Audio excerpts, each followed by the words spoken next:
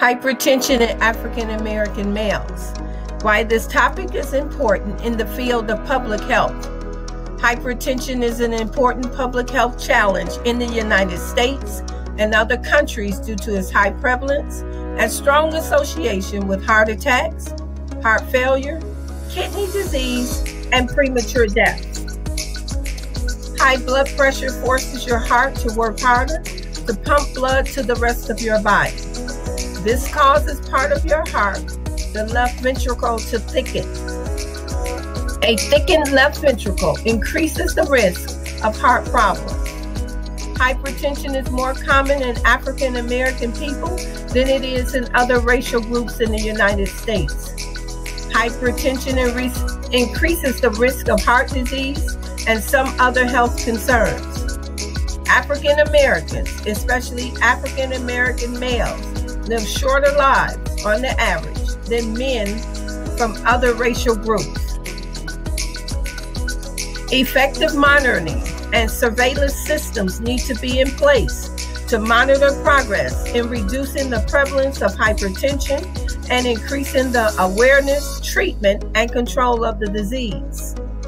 Managing and preventing hypertension is part of the challenges facing public health the estimated total number of adults with hypertension in the world in 2000 was 972 million, with 333 million in economically developed countries and 639 million in economically underdeveloped countries.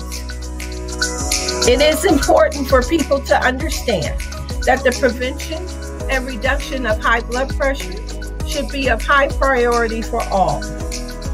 African American males with hypertension can benefit greatly from the therapeutic lifestyle changes, such as diet, modification, physical activity, and weight loss management.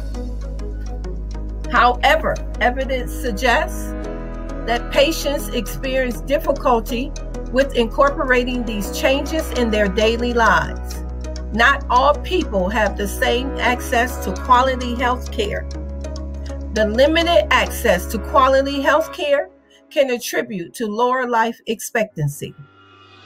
Differences in socioeconomic and environmental factors may present barriers to enter in the healthcare system, resulting in varying degrees of quality care.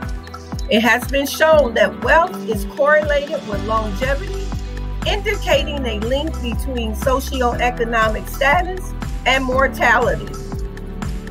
But why do disparities in healthcare still exist?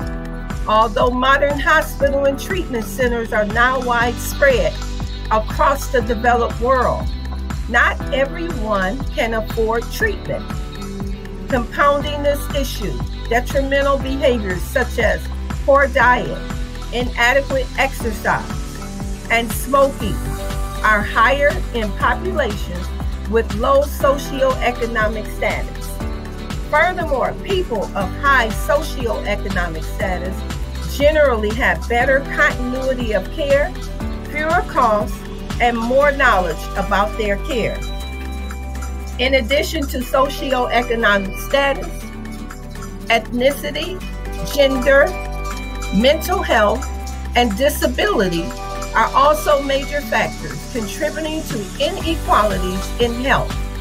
Therapeutic lifestyle change interventions should emphasize patient management, support by providers, family, and the community. Interventions should be tailored to an individual's cultural, heritage, beliefs, and behavior norms.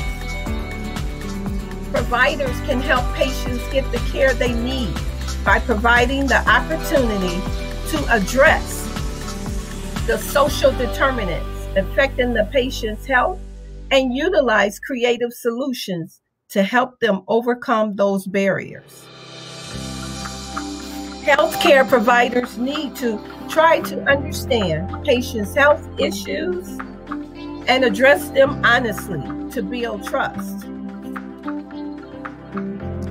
providing resources such as food banks, community fairs, voucher assistance for medications, offering transit assistance, telehealth technology to reduce some of the barriers. But why is this topic important? Having high blood pressure can be deadly, and there's a silent risk that is the culprit. Many families don't talk about the illnesses that their family members are facing. Illnesses such as high blood pressure have the opportunity to grow into abnormal stages over time. Hypertension is an important topic for the African American male or anyone facing this disease because they can die if the symptoms are not controlled and therapeutic measures are not used to stabilize the condition. Research. In researching the topic, we went to peer reviewed articles, journals, and books found primarily in the Oakland University Library, in addition to the National Heart Society. What do we need to do? Advocate for free health care. Most impoverished people prioritize and health care due to the cost is not at the top. Presented by Group 2, Independent Women, Tammy Ogundu, Linda Crowder, and Ashley Gregovich. Thank you.